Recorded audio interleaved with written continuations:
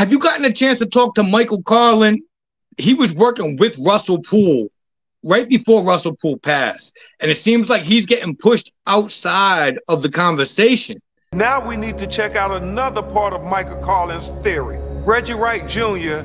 and the allegedly dirty cops who he and Suge Knight was bringing into the inner circle of death row. You got a lot to cover up, y'all. Freudian slip. You got a lot to cover up. You know, we got a lot to cover up. Well, who do you think killed Tupac?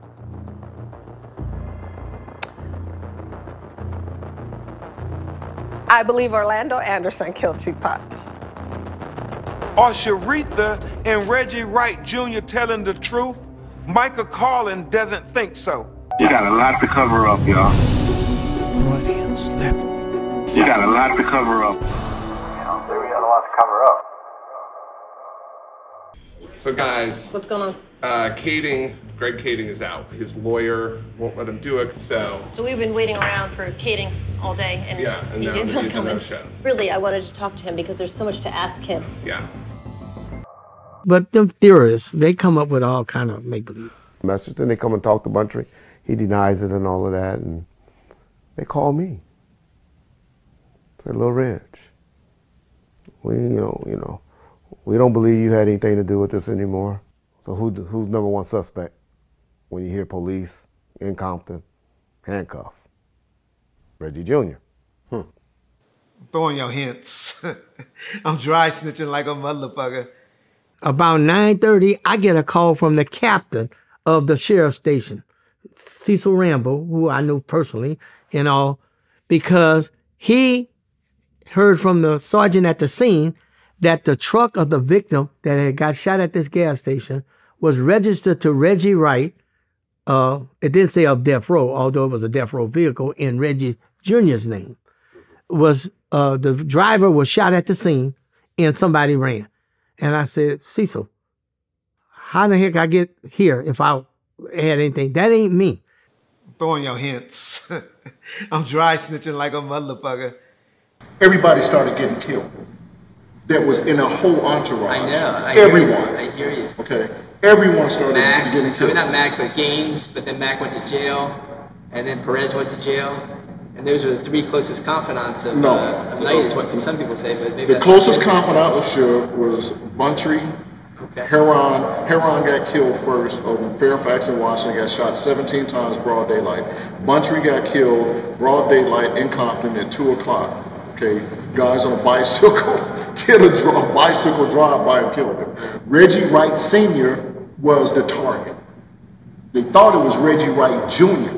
The car that they were in, the SUV, was registered to Reggie Wright Jr.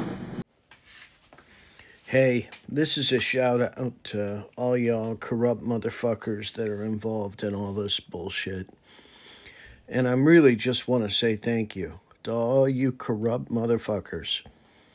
Because if you guys would have just kept quiet, we'd never know half of what we know about y'all corrupt motherfuckers. And excuse all the profanity in this, but there's nothing else to say about people who swear an oath to uphold the law and to do the right thing, and then don't do the right thing. And there's a saying loose lips sink ships. And y'all are dry snitching on yourself to a minimum, but you're actually snitching on yourselves too. Because the more you guys get out there and start to tell these stories, the more we know the more we find out, the more we start looking at all the pictures, the more that we start looking at the video. And we see y'all motherfuckers. We know that you were at the MGM. And how do we know that? Well, there's a Compton City official that saw you at the uh, Bruno fight. So he knew you guys were working for uh, the MGM, doing off duty security. And there you are on the video. And there are literally hundreds and hundreds of people now that are in Compton. You guys used to be there every day. They saw you and they know what you look like and what you looked like back then, more importantly.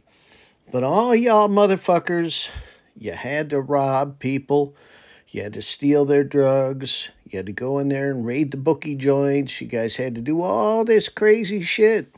You guys had to run the hookers that were in Compton, the massage parlors. You guys had to run the seventh floor of the hotel where you guys had the hookers, and that's where you were getting your money. And then you guys were going out raiding all those houses. Well, we're just taking your guns. If we find a gun, we're going to take it. And you were selling those guns and you were making money. And you were making money by robbing drug dealers. And you were making money by dealing dope. And so here we have a big pork chop called Death Row Records. And y'all figured that you were just going to take down this score and nobody was going to notice. You're going to be able to cover it up with the DA's office, cover it up with judges and all kinds of crazy shit. And even the Compton PD sent them off a helicopter. They're a good idea. And you know what? It all worked until y'all started talking. But the one thing we know about people that are in positions of power, they don't like to be embarrassed. And y'all are starting to embarrass them. And when you embarrass them, what's going to happen? Well, I'll tell you what's going to happen. They don't want to be caught. And they have bigger money at stake than what y'all gave them. Y'all gave them pocket change compared to what they got going on. You think they're going to just let this whole thing slide? No, that's not going to happen. But we're going to dig into something. And two of the corrupt cops wrote a book. And in their book, I want to read to you a segment because it's very telling. So here it is. I'm going to read it to you. Months later, they were back in the undercover van doing another reverse sting, this time at the 300 block of Magnolia. It was the middle of summer and unbearably hot inside the van. Two other officers, Bruce Fralish and Fred Reynolds, were in the van assisting Tim and Bob. This time, when the buyers pulled off after making their purchases, they were intercepted by marked vehicles at either Oleander or Acacia Street. An ice cold beer would sound good right now, someone said. You motherfuckers want some beer? Fred Reynolds replied. I'll get you some beer. Fred Reynolds was a great cop. He was a black guy from Detroit, light complexioned and funny, big and stocky, with a good head on his shoulders. He wore glasses and that was uh, and he was a self-proposed professed ladies man when he said he could get the guy some beer they went in on him disputing his words fred was determined to prove them wrong he got on the phone with his girlfriend sweet talking her into bringing the beer the guys laughed you're so full of shit fred hung up the phone with a broad smile you, just you motherfuckers wait. 15 minutes later, Fred's phone rang. Fred opened the door as his girlfriend walked up to the van. She handed him a brown bag full of the coronas and left. The guys all burst into laughter. Fred tossed each of those guys a bottle of ice cold beer. He looked in the bag. That bitch didn't bring us any limes. The guys thought he was joking. He wasn't. Reynolds called his girlfriend again. We need some limes. Ten minutes later, there was a knock on the van door. There was Fred's girlfriend with a bag full of limes. She handed them to him and left. The guys laughed hysterically. Fred, you're the man. Five minutes later, they were guzzling down coronas. Looks like we have a customer, Bruce said. Someone was coming to buy drugs.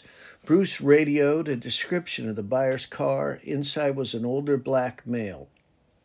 The van was facing eastbound against the south curb line. The buyer's car headed westbound on Magnolia.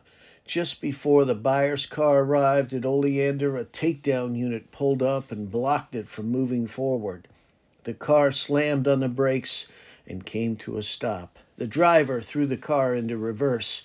taking off at a high speed. The car was speeding towards the van, fishtailing and swerving to the side. It lost control and slammed into the undercover van, doing 40 miles per hour. The guys inside the van went flying. So did the beer.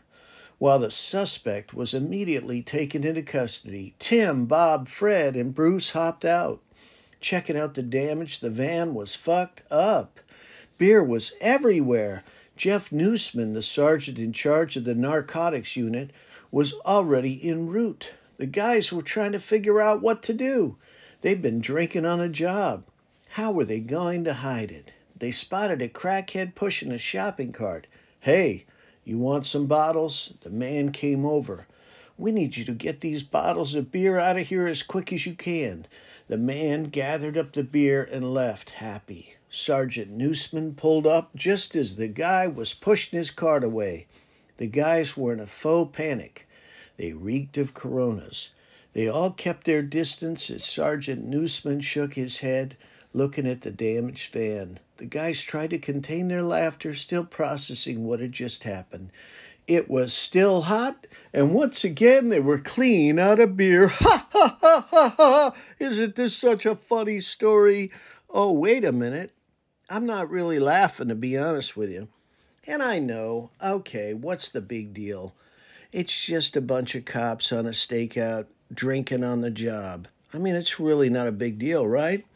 Well, let's look at the pattern of behavior and let's look at it uh, in conjunction with some of the interviews that we did in, like, Big Spender. Well, what happens? Hey, we're just drinking on the job. It's not a big deal. Well, now we know something about these cops we know that they're willing to put their oath on the line and compromise themselves. So, what's next? Drinking on the job leads to, well, you know, it's just a $50 bill. Maybe we just buy lunch with it.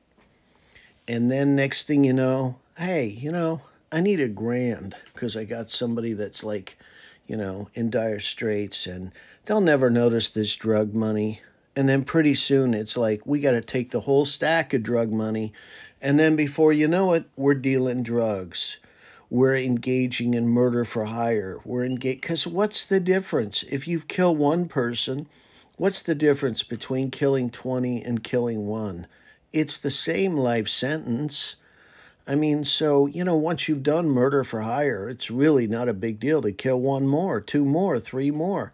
And especially when you can get the DAs to cover for you, when you can get judges to cover for you, you know, when you get the system turned on itself, which is what, you know, uh, Suge Knight has been accused of because he rented a DA's house and whatnot, because there were cops that were around Death Row Records all the time.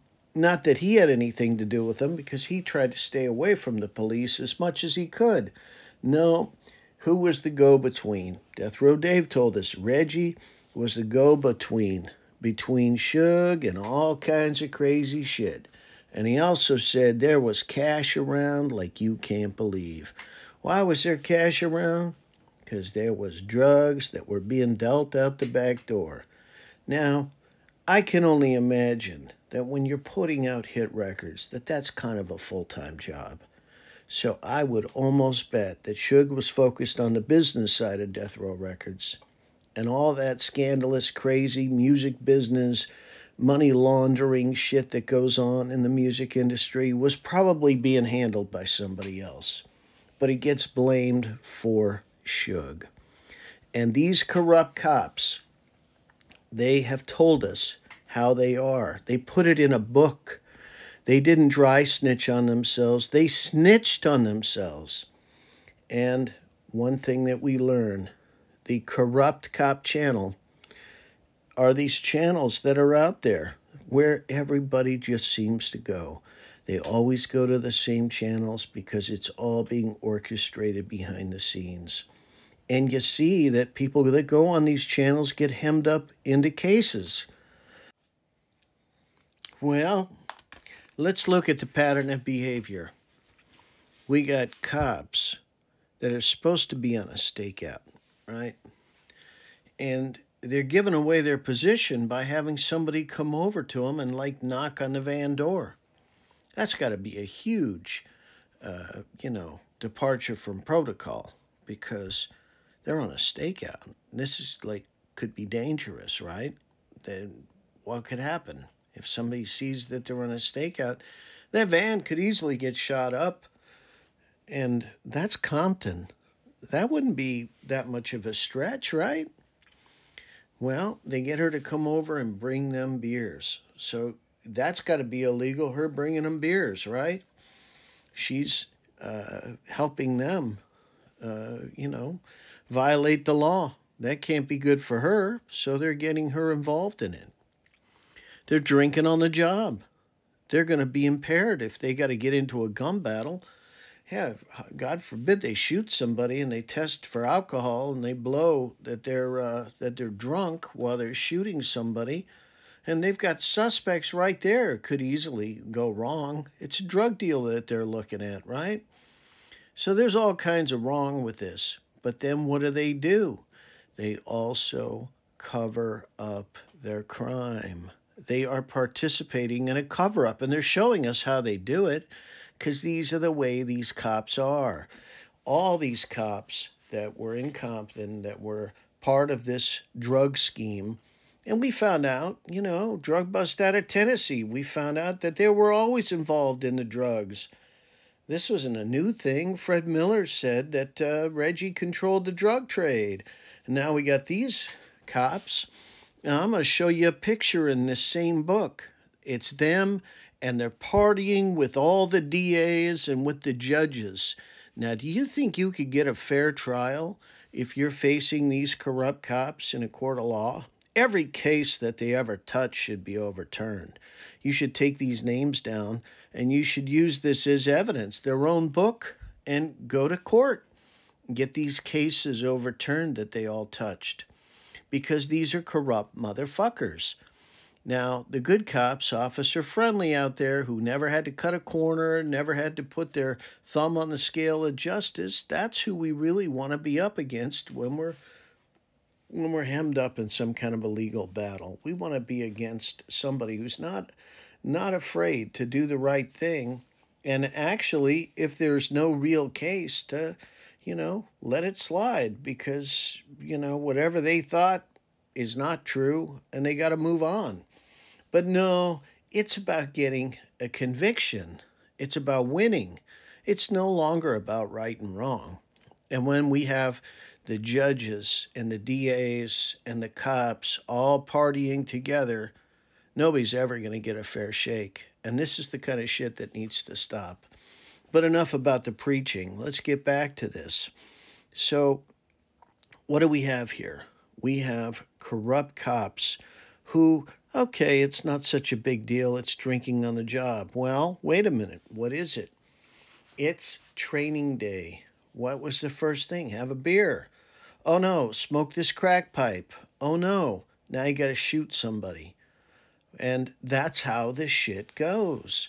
We are escalating the behavior. We're testing. We want to see will they drink a beer on the job? Hey, will they take a 20? Will they take a 50? Will they take a 100? Will they take a stack of cash? Will they take dope? Will they traffic in hookers and narcotics? And wait a minute, will they control the uh, the seventh floor of the hotel with all the hookers there? Will they go rob uh, you know, bookie joints? Will they rob casinos? Will they rob? What will they do? What? Where's the governor that's on this? And that's what we see with this whole group of corrupt cops. They are operating under color of authority. They're having affairs and putting men's wives uh, first, and then they're putting those men in jail so that they could go have an affair with a woman. They're seeing a car that they want and they're going out and they're arresting somebody so that they can impound the car and buy it at auction. And this is the kind of shit that happens over and over. Now, when I was in border Mexico, I met somebody who was a corrupt cop down there, and he was making big money running basically a vending route where he was getting paid all these stacks of currency for all the illegal activities that he was allowing to go on. And then he was taking his pinch and he was sending the rest on to the higher ups.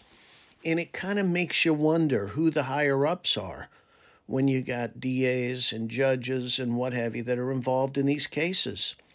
And, you know, when you're trying to shut down the corrupt Compton Police Department and you have a uh, competing police uh, organization's chief of police coming to try and intercede to stop that from being shut down, you wonder if they're being paid with this illicit money, especially when you find out that same person was the one that hand recruited the Rampton uh, Rampart scandal cops.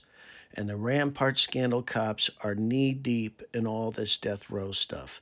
It was a ring of people. It involved the sheriffs. It involved the uh, LAPD. It involved the corrupt Compton police. Now, how do we know that? Well, an off duty sheriff let the shooters into the club the night Suge was shot at the One Oak. What did they scream? You killed Tupac. And then that same off duty sheriff took the shooters to the airport the next day. Now, Russell and I were the only two that were actually having meetings with Dave Demersion. Nobody else was at the meetings except for Russell, me, and Dave Demersion. And what was it that we had uncovered? Not just the MGM tape, not just the confession letter, and not just a bunch of other stuff that we had compiled, information, the Tupac murder facts and whatnot. No, we found out about the off duty sheriff that let the shooters into the club and drove them to the airport the next day. And from the time we disclosed that to the sheriffs, this became a cop thing. And Russell was then asked to show up alone. Carlin's no longer invited to the meeting. It's a cop thing. And so I wasn't able to go with him to the meeting. And we all know that tragically, Russell Poole died in that meeting. Why did Russell Poole die in that meeting? I don't think it was an aneurysm or a heart attack. I think it was because there was too much exposure for Russell Poole to continue to dig into this stuff. Already found out that the sheriffs were involved. And now the sheriff's tied to Compton PD, and we know that it ties to LAPD, so how big is this really? We were only starting to get a glimpse into how big this was. Russell had to go.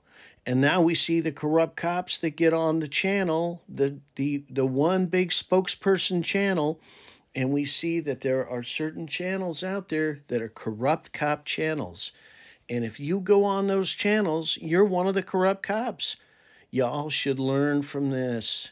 Loose lips sink ships. And y'all, with the loose lips, are about to sink your own ship. If that's the case, did, Pac, did Tupac life mean anything? Because they never saw that case. Sometimes if you saw the first case, you might have saw the second case. But that never happened, correct? Yep. But he did testify reluctantly. The Death Row Records security chief Reggie Wright Jr. once told him, quote, We're going to get those mothers who downed Pac. A reportedly missing photograph and former police chief Bernard Parks' daughter came up during testimony today in the wrongful death lawsuit filed against the city by murdered rap star Biggie Smalls' mother. Uh, that, to me, was probably another motive for Chief Parks to want to squash a lot of the information. There was an effort to, to keep a lot of the information away from the public. This declaration from a jailhouse informant named Kenny Boagni links crooked LAPD officers David Mack and Rafael Perez to the murder of rap star Biggie Smalls. Okay. Right? You see, Suge was willing to say, I didn't know those two cops, but maybe Reggie knew them. Never met those dudes. They never worked for me. They knew Reggie Wright. They didn't know me. You always will tell those are Reggie people. and Reggie was fast to say, I didn't know them either. I was just interested in why he would point the finger at Suge so quick. He wouldn't say it to you, but he definitely pointed it. We call that dry snitching. That Perez told how he worked security for Death Row Records the night Biggie Smalls was assassinated, and how he and Mack used cell phones to set up the hit. Boagni now says he was instructed by an LAPD detective to share his story with no one else investigating Biggie's murder. Judge Florence Marie Cooper says LAPD may be involved in what she calls deliberate and intentional concealment of information. Jailhouse informant Kenny Boagni ties former LAPD officers David Mack and Rafael Perez to the murder of rap star Biggie Smalls. LAPD has withheld reams of other evidence as well, including at least two other jailhouse statements implicating dirty cops Mack and Perez in Biggie's murder. A thousand pages of information were withheld describing Mack and Perez's involvement in Biggie's murder. Three different jailhouse informants who offered to wear a wire were all turned down by LAPD. A wire, say informants, that could have caught jailed officer Perez boasting about his involvement with Death Row Records and the Biggie Smalls murder. Judge Florence Marie Cooper lists all the new information she says links former crooked LAPD officers David Mack and Rafael Perez to the murder of Biggie Smalls. The sheer volume of the information, says the judge, belies any LAPD argument that it comes from just another jailhouse informant. Murder is pretty simple. The first person you go after is the spouse. Perez and them was all involved. They were trying to kill me too, but see, because Perez and, and, and Rez was good friends, and Perez and Sharitha and Rez is great friends, and so all those three together was trying to plot. Those guys, if you go back and watch the film, they was already stalking Pac, watching him. So that just tipped the iceberg when something happened. But that was there was a plan already to do something to him. Orlando wasn't even the shooter, you know. He was actually a good kid too, you know. I'm quite sure if they if they, if they saw the first one, they would saw the second one because it's the same circle of people. You got a lot to cover up, y'all. Freudian slip. You got a lot to cover up. Murder is pretty simple. The first person you go after is the spouse. All the artists at Death Row was willing to come with me. David Mack worked for you, right? No, ma'am. Never? Never met him, never heard of him, didn't know who he was until the accusations that he possibly did work for me. And that's been investigated by LAPD and all of that. Why would I want a paper trail when I never brought him around nowhere? So if I'm gonna hide him in secret, you think I'm gonna find I'm gonna let somebody catch a paper trail? It was paid cash by Snoop. Perez and was all involved. They were trying to kill me too, but see, because Perez and, and, and Rez was good friends, and Perez and Sharitha and Rez is great friends, and so all those three together was trying to plot. How about Rafael Perez? Never heard of him until all the incidents happened. Those guys, if you go back and watch the film, they was already stalking Pac, watching him. So that just tipped the iceberg when something happened. But that was there was a plan already to do something to him. So why does everyone keep telling me that David Mack was working for you? Yeah. I never heard that. You've never heard that? That he worked for me. I, You've uh, never heard that? Wait a minute. Uh, let me clear that Come out. on. I'm saying by anyone that's credible that will work around there or anything. Um, like I said, that was all investigated by LAPD. I turned over my payroll, everything. You always attack. Those are Reggie people. Orlando wasn't even the shooter, you know. He was actually a good kid too, you know. I'm quite sure if they if they, if they saw the first one, they would saw the second one because it's the same circle of people. You got a lot to cover up, y'all. Freudian slip. You got a lot to cover up.